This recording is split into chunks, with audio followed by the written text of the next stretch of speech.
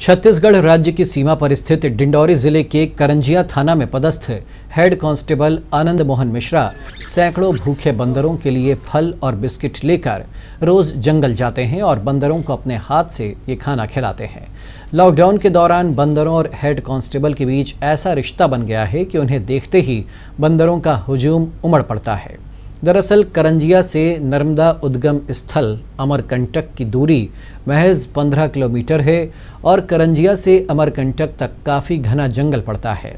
Lockdown के पहले अमरकंटक जाने वाले पर्यटक बंदरों को फल, बिस्किट और चने आदि खिला देते थे, लेकिन लॉकडाउन के चलते पर्यटन बंद हो गया है और बेचारे बंदर भूखे रहने लगे हैं। ऐसे में बॉर्डर पर ड्यूटी से लौट रहे हेड कांस्टेबल ने बंदरों का पेट भरने का फैसला लिया और लॉकडाउन के बाद से पुलिस का ये जवान रोज़ अपने खर्चे पर बंदरों के लिए फल और बिस्किट लेकर जंगल जाता है और भूखे बंदरों का ये जवान पेट भरता है।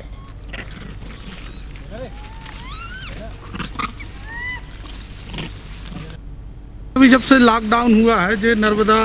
माई का उद्गम स्थल है और जो धार्मिक पर्यटक डंगरी है। लॉकडाउन के पहले यहाँ पर काफ़ी भारी मात्रा में यहाँ पर पर्यटक बाहर से आते थे और इन बंदरों को तरह तरह के व्यंजन खिलाते थे। जब से लॉकडाउन हुआ है तो कोई आ जा नहीं रहा है, कोई पर्यटक भी नहीं आते। तो जो उम्मीद में बेजुबान जानवर रोड पे बैठे रहते हैं कि कोई आके कुछ खिलाएगा। तो मेरे अंदर ऐसा कुछ भाव प्रकट हुआ कि सब कोई ऐसे ही कोरोना के चलते सबकी मदद कर रहे हैं गरीब लोगों की सबकी, लेकिन बेजुबान जानवरों का कोई नहीं है। तो इसलिए मेरे को ऐसा लगा तो मैं जब भी ड्यूटी से टाइम मिलता है तो आ जाता हूँ। तो तस्वीरें आप देख सकते हैं, ये जो जवान है, वाकई मानवता की अनोखी मिसाल पेश कर रहा है, और